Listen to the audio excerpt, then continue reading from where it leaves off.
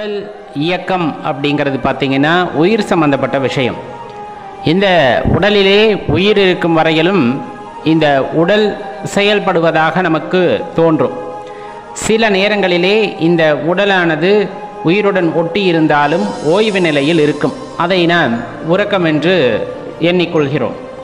இந்த உயிர் இல்லாத உடல் அப்படிங்கிறது கண்டிப்பாக ஒரு இயக்க சம்பந்தப்பட்ட வேலைக்கு ஒவ்வாததாக இருக்கும். அப்போ அந்த உடலை நாம் சவம் என்று கூறுகின்றோம். இந்த உடலுக்கு உற்ற துணையாக உயிர் இருந்தது. உடலுக்கு உற்ற துணையாக உயிர் இருந்தது. அதனால் இந்த உடலுக்கு ஒரு மதிப்பும் மரியாதையும் இந்த சமூகத்திலே வழங்கப்பட்டு வந்தது. மாயையின் காரணமாக அதுதான் உண்மை அப்படிங்கிறதையும் நாம் எண்ணிக்கொண்டிருந்தோம். ஒருவேளை இந்த உடலுக்கு உற்ற துணையாக உயிர் இருக்கிறது அப்படின்னு எண்ணிக்கொண்டாலும் இந்த உயிருக்கு உற்ற துணை யார்? அப்படிங்கிற அந்த கேள்வியானது நமக்கு எழுகிறது. அது இயல்பான ஒரு விஷயம்தான். திருமூலரையா தெளிவாக சொல்லும்போது இந்த உடலுக்கு உற்ற துணை உயிர் உயிருக்கு உற்ற துணை இறைவன் அப்படிங்கிறத தெளிவாக சொல்லுவாங்க. இந்த இறைவனையும் வந்து நம்மால் எளிதில் இனம் கண்டு கொள்ள முடியாது அப்படிம்பாங்க. ஏன்னா உற்ற துணை தான் அந்த துணை இருப்பதை நாம் நம்ப வேண்டும். அதே போல் அந்த துணையை நாம் ஆராய்ந்து கண்டறிய வேண்டும். உயிர் வந்து அந்த பரம்பொருளை உணர்ந்து கண்டறிந்து கொள்ளுதல் வேண்டும். இது எப்படி சாத்தியமா? ஒருவருக்கு இது நடக்குமா? ஏன்னா எல்லாருக்குமே வந்துட்டு அந்த உடலில் உயிர் இருக்கிறது அப்படிங்கிறத நம்புவாங்க. ஏன்னா இல்லைன்னா அதை வந்து நம்புறதோ நம்பாததோ எண்ணி பார்ப்பதோ அந்த மாதிரி எதற்குமே வேலை இல்லாமல் போயிடும். அந்த உயிரானது கட்டாயமாக அங்கே இருக்கணும். அந்த சிவமானது உள்ளே கட்டாயமாக இருக்கணும். இப்போ இந்த உயிர் இந்த உடலை விட்டு வெளியே போய்விட்டால் இதற்கு உற்ற துணையாக யாரேனும் ஒருத்தர் இருக்கணும் இல்லையா? அவரைத்தான் நம்ம சிவபெருமான் அப்படின்ட்டு கூறுகின்றோம். அவரைத்தான் சிவபெருமான் அப்படின்ட்டு கூ கூறுகின்றோம். ஏன்னா வாழ்கின்ற வரையிலும் உனக்கு துணையாக நான் இருப்பேன். கடைசி வரை நான் இருப்பேன். அப்படி இப்படின்ட்டு நிறைய பேர் பேசலாம். வாழ்ந்த பிறகு இந்த உடலை விட்டு உயிர் பிரிந்த பின்பு அந்த உயிருக்கு துணையாக நான் வருவேன் அப்படின்ட்டு இங்கே சொல்லக்கூடிய உறவுகள் எதுவுமே கிடையாது முதல்ல. கடைசியாக அந்த உறவுக்கு அந்த உயிருக்கு அப்படின்னு சொல்லக்கூடிய அந்த அரும்பெரும் ஜோதிக்கு துணையாக இருப்பது சிவபெருமான் மட்டுமே. அவரை வாழும்போதே அறிந்து கொள்ள வேண்டும். அதுதான் ரொம்ப முக்கியம். வாழ்வு முடியும் பொழுது இறைவா இறைவா அப்படிங்கிறனால நமக்கு எதுவும் கிட்டப்போவது இல்லை. மாறாக வாழ்ந்து கொண்டிருக்கின்ற கா காலகட்டத்திலே நாம் அவரை பற்றி உணர்தலை நாம் தெளிவாக ஏற்படுத்தி கொள்ள வேண்டும். அப்படி ஏற்படுத்தி கொண்டு விட்டால் நம் வாழ்க்கையானது சுபிக்ஷமாக இருக்கும். அதில் எந்த மாற்று கருத்துமே இல்லை. சரி எப்படி அறிந்து கொள்ளுதல் அப்படிங்கிறது. மனிதனுக்கு ஆறாவது அறிவு அப்படின்னு இறைவன் ஒன்று கொடுத்துருக்கிறார். நம்புகிறோம்ல கண்டிப்பாக அந்த ஆறாவது அறிவு அப்படிங்கிறது இறைவன் இல்லைன்னு பேசுறதுக்கு மட்டுமல்ல. தெளிவாக தெரிஞ்சுக்கணும். இறைவன் இல்லைன்னு பேசுறதுக்கு மட்டுமல்ல. எப்பவுமே நடுநிலைமையாக இருந்து பேசணும். நீங்கள் இருக்கணும் முழுசாக நம்ப வேண்டாம். இல்லைன்னு ஏற்றுக்கொள்ள வேண்டாம். ரெண்டுக்கு இடைப்பட்ட சூழ்நிலையில் நிற்கணும் ஐயா அப்படி நிற்கிறது தானே ரொம்ப கொடுமையான விஷயம். உண்மையாக சொல்லப்போனால் இறைவன் இருக்கிறார் நம்மனா நம்பி போயிடலாம். இறைவன் இல்லைன்னு நாத்திகம் பேசினா நாத்திகத்தோடு போயிடலாம். ஆனால் ரெண்டுக்கும் நடுவில் இருக்கும்போது எதை நம்மளால் பண்ண முடியும்னா ஏன் நடுவில் நின்றுங்க அந்த சூழ்நிலையில் இருங்கன்னு சொல்கிறோன்னா கேள்வி அறிவு அப்படிங்கிற ஒரு விஷயம் நம்மக்கிட்ட இருக்குது அந்த ஆறாவது அறிவின் மூலமாக அந்த அருட்பெரும் ஜோதியின் காரணமாக எதையும் கேட்டு அதனுள் இருக்கின்ற உண்மையை தாய்ந்து அறிகின்ற அந்த அறிவு அப்படிங்கிறது நமக்கு இருக்குது நம்ம சில பல கேள்விகளை நம்முள் கேட்கணும். நம்முள் கேட்டு அதற்கான விடையை நமக்குள்ளேயே தேடணும். அவ்வாறு கிடைக்கவில்லை அப்படின்னா குருமுகமாக அந்த கேள்விக்கான விடையை தேட வேண்டும். சில பேர் புத்தகங்கள் வாயிலாக சில பேர் பல ஞானியர்கள் பேச்சுகளில் இருந்தெல்லாம் உணர்ந்து கொள்வார்கள். இப்போ நம்ம ஏதோ ஒன்று பேசிக்கிட்டு இருக்கோம். இப்போ நம்ம ஏதோ ஒன்று பேசிகிட்டு இருக்கோம். உங்கள் மனசில் ஏதேனும் சந்தேகம் இருக்கலாம். அப்படி சந்தேகம் இருக்கின்ற பட்சத்தில் அதற்கான விடை நாம் பேசுகின்ற இந்த பேச்சிலே இருக்கலாம் ஒரு சிலருக்கு. ஏன்னா எந்த நிமிடத்தில் இறைவன் நமக்கு எதை சுட்டி காட்டுவார் அப்படின்லாம் தெரியாது. அதனால தான் அனைத்தையும் கவனமாக கவனியுங்கள் அப்படின்னு சொல்கிறது இந்த பேச்சை அடியேன்னு சொல்லலை. நீங்கள் இந்த உலக இயக்கத்தவே கவனமாக கவனியுங்கள். உங்களுக்கு அருகாமையில் ஒரு மரம் அசைகின்றதா? அந்த அசைவை கவனியுங்கள் அப்படின்னு சொல்கிறது ஒரு நாய் அந்த சைடு போகுதா? அந்த நாய் நடந்து போகிற விதத்தை கவனித்து பாருங்க. ஒரு பூனை இனிமேல் நீங்கள் எந்த விலங்கினங்களை பார்த்தாலும் சரி சக மனிதர்களை நீங்கள் பார்த்தாலும் சரி அவர்கள் என்ன பேசுகிறார்கள் என்ன செய்கிறார்கள் என்பதை உற்று நோக்குங்கள். ஒவ்வொரு வி- அசைவும் உங்களுக்கு ஒரு விடையை கொடுக்கும். ஏன்னா நம்ம தான் சொல்லிட்டோம் நடுவில் அதாவது இங்கிட்டும் சாய வேண்டாம் அங்கிட்டும் சாய வேண்டாம். இறைவன் இருக்கிறாரு முழுசாக நம்மனா நம்பிடணும். சரிங்களா? எந்த கேள்வியும் கேட்காம. ஆனால் கேள்வி கேட்பதன் மூலமாக அறிந்து கொள்ள முடியும் அப்படின்னா கேள்வியை கேட்கணும். மனசில் சந்தேகத்தை வச்சுக்கிட்டு இறைவன் இருக்கிறார் இருக்கிறார் அப்படின்னா உங்களுக்கு கேட்க வேண்டிய கேள்வி பாக்கி இருக்கு இந்த மனசில். அது தெளிந்தால்தான் நம் இருக பற்ற முடியும். யாருடைய திருவடியை பற்ற முடியும்? சிவபெருமானாருடைய திருவடியை பற்ற முடியும். நம்ம இப்போ சொன்னோம் இல்லையா? இந்த கேள்வி அறிவால் ஒவ்வொரு கேள்விக்கும் விடையை கண்டுபிடிச்சிக்கிட்டே போறீங்கன்னு வச்சுக்கோங்க.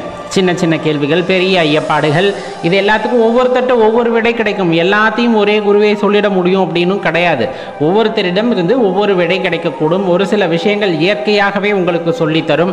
வினா என்று ஒன்று உங்கள் மனதில் எழுந்துவிட்டால் அதற்கான விடை கண்டிப்பாக இருக்கிறது. அது ஒருவரிடமிருந்து கிடைக்கும் என்றெல்லாம் எதிர்பார்க்க வேண்டாம். நீங்கள் பலரை அணுகும் போது பலர் மூலமாக சின்ன சின்ன விஷயமாக கிடைக்கின்ற எல்லாத்தையும் கோர்த்து பார்த்தாலும் உங்களுக்கு அதற்கான விடையானது கிடைக்கப்பெற்றுவிடும். அப்படிப்பட்ட சூழ்நிலையிலே இப்படி கிடைக்கின்ற விடைகளை எல்லாம் நாம் அடுக்கிக் கொண்டே போகின்றோம். ஒரு வாராக எல்லாத்தையும் அடுக்கி முடிச்சிட்டோன்னா இறுதியாக கிடைக்கக்கூடிய விடை எதுவாக இருக்கும்னா இறைவனின் பொற்பாதமாக இருக்கும். இறைவனின் பொற்பாதமாக இருக்கும். அவரை சரணடைதல் அப்படிங்கிற ஒரே விஷயம்தான் இந்த உயிருக்கு உற்ற துணையாக இருக்கும். கவலை இல்லாததாக இருக்கும். எதுக்கு? உயிருக்கு எந்த பயமும் இருக்காது. உயிருக்கு எந்த கவலையும் இருக்காது. உயிருக்கு அப்படியோ இப்படியோங்கிற எந்த சந்தேகமும் இருக்காது. இறுதியாக இறைவன் திருவடியை பற்றி விட்டால் அந்த வாழ்க்கை எதற்கு? அந்த உயிரோட உயிருக்கான உற்ற துணையாக இறைவன் திருவடியானது இருக்கும் அப்படின்னு சொன்னோம்னா அதில் எந்த மாற்று கருத்துமே இல்லை. இதில் சில விஷயம் உண்டு. இதில் படிப்பறிவு ரொம்ப முக்கியமா அப்படிங்கிற கேள்வி வரும். இவங்கெல்லாம் நல்லா படிச்சிருக்காங்க. நிறைய வேத நூல்களை படிச்சிருக்காங்க. பனிர திருமுறைகளை படிச்சிருக்காங்க. சில பேர்லாம் அதெல்லாம் படிக்கிறதே இல்லை அப்படின்ட்டு இருக்கு இல்லையா? நல்லா தெரிஞ்சுக்கங்க. எதை வேணாலும் படிக்கலாம். ஆத்மார்த்தமாக இறைவனை உணரக்கூடிய தன்மையானது நமக்குள் இருக்க வேண்டும். ரொம்ப முக்கியம்.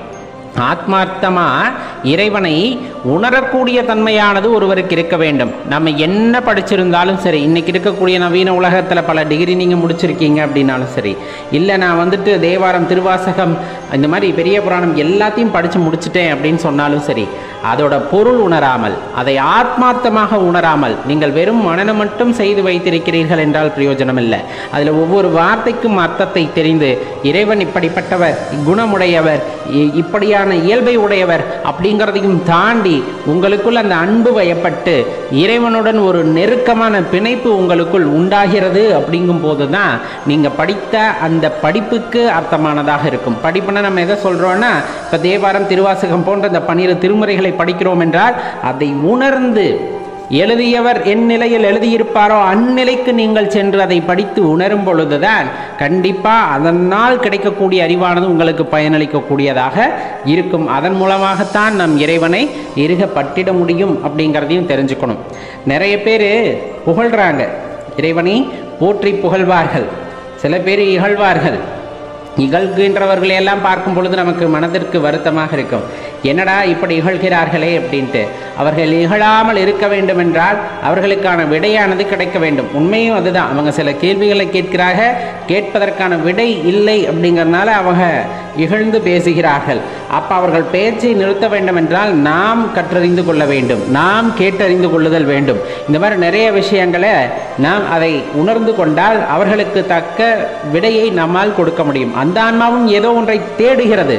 தேடுவதற்கு பலன் அல்லது அதற்கான பதில் கிடைக்காத போது இதெல்லாம் பொய் என்று நினைத்துக் கொள்கின்றது. உண்மையை சொல்ல போனால் அவங்கெல்லாம் கல் பசுவில் பால் கறக்க முயற்சி செய்கிறார்கள். அதுக்கு வாய்ப்பு இருக்குமானா கண்டிப்பாக கிடையாது.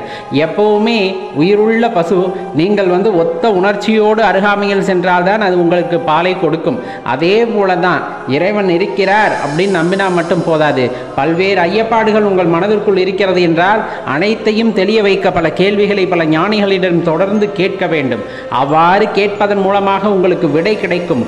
அவ்விடையை அடிப்படையாக கொண்டு அடுத்த கேள்விக்கு பயணிக்க வேண்டும். இதேபோல் வாழ்க்கையிலே பல கேள்விகளும் பதில்களும் மாறி மாறி கிடைத்து கொண்டே இருக்கின்ற சமயத்திலே கடைசியாக உங்களுக்குள் உள்ளார்ந்த உணர்தல் ஏற்பட்டு கடைசி கேள்விக்கும் ஒரு தெளிவான விடையானது உங்களுக்கு கிடைக்கிறது என்றால் அது எந்த இடமாக இருக்கும் என்றால் அந்த சர்வேஸ்வரனின் பொற்பாதமாகத்தான் இருக்கும். அதில் எந்த சந்தேகமும் உங்களுக்கு வேண்டாம். அப்போ சில பேர் இகழ்கிறார்கள் சில பேர் புகழ்கிறார்கள் அதெல்லாம் எதுவும் தேவையில்லை.